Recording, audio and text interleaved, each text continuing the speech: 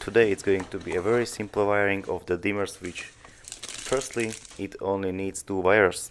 Secondly, it's quite thick, so you'll need a box at least 5 cm deep. I just prepared this installation box. It's a regular size, 5 cm deep and 68 mm wide. Somehow this is what a box with wires might look like at your place. One cable going in and one coming out, but what are we interested in are only the dark colored brown and black wires. In exception to the dark wires, the blue neutral and green and yellow ground wires must be bonded together.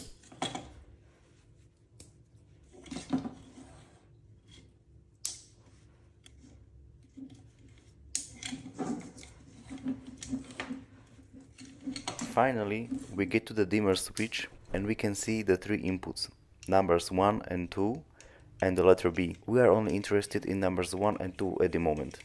On the input labeled 1, we connect the live wire and on input number 2, we connect our outgoing wire to the lamp.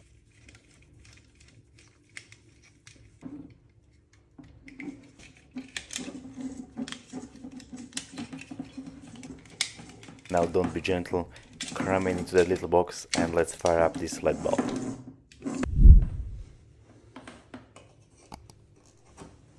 Well, as it seems an ordinary LED bulb won't work with the dimmer switch, but there are alternatives on the market that can handle dimming. I can still try an ordinary bulb and I know it will work, only the consumption is 6 times as much.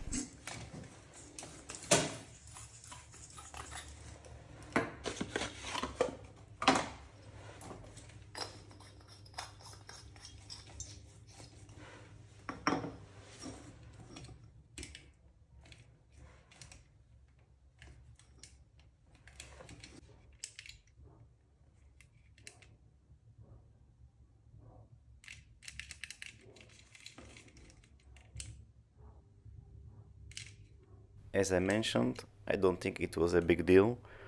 The only terrible thing is the price, which is around 60 euros. But taking into but taking into account that to make a similar dimming mechanism with classic switches would cost around 50 euros, so 60 euros doesn't sound too bad for a finished device.